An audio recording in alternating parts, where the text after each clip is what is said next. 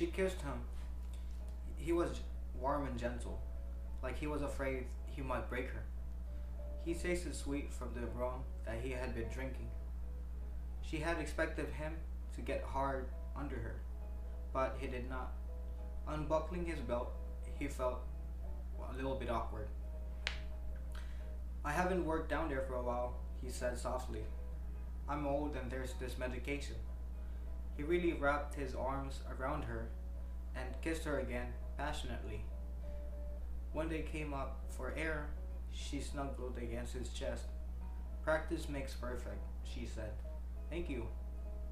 I haven't kissed anyone for a long time. Let's have a couple more drinks. He let her loose and she stood. You do drugs? Just a little weed. She came back from the kitchen with a plastic bag that had a couple joints already rolled. They lit it up and passed it down back and forth.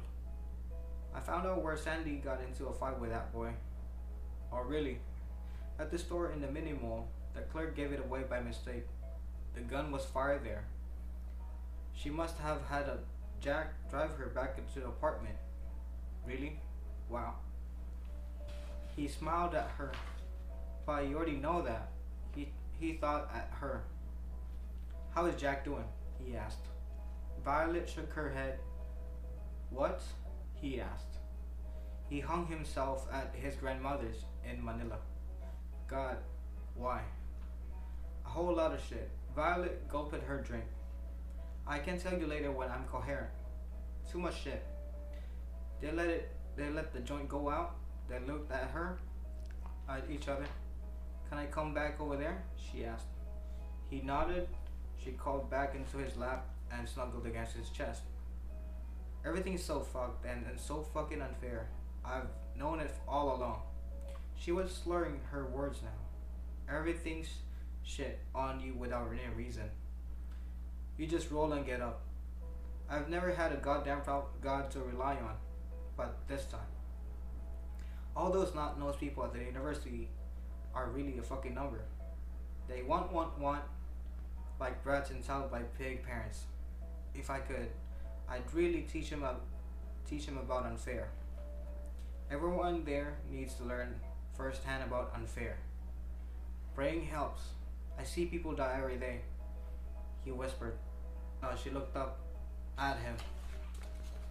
Can your God send down a ball of lightning? Maybe around commencement time? I doubt it. Maybe I should talk to him, she said. I don't want to hate anybody, but all I got now is hate, hate, hate. She was getting his sweater wet. They sat there together for a bit and then he realized that she had fallen asleep or had passed out. Could he get up with her and put her on the couch without waking her?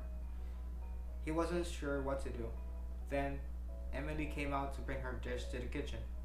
She was passed out. He told the girl, Can you carry her to, to her bed? He did not know. Catch me if I stagger. He stood. Violet was surprisingly light. She just rolled her head over against his neck. This way, Emily said. He followed her to her bedroom and put her down as gently as he could after the girl turned down the bed. They hadn't turned on the light, so they both tiptoed out and went back to the living room. He picked up his bottle of rum. Tell her all is good.